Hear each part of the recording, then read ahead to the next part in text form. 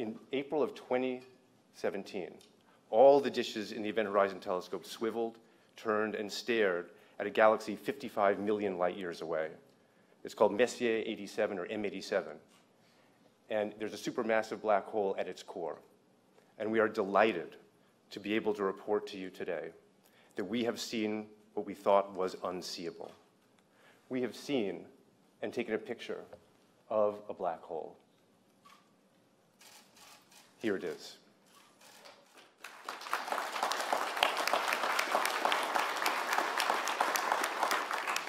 This is a remarkable achievement. Uh, what you're seeing here is the last photon orbit. What you are seeing is evidence of an event horizon. By laying a ruler across this black hole, we now have visual evidence for a black hole.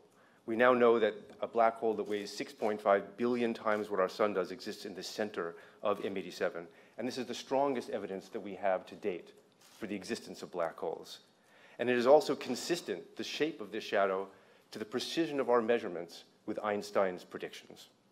The bright patch in the south that you see tells us that material moving around the black hole is moving at light speeds, which is also consistent with our simulations and predictions. And this image forges a clear link now between supermassive black holes and the engines of bright galaxies.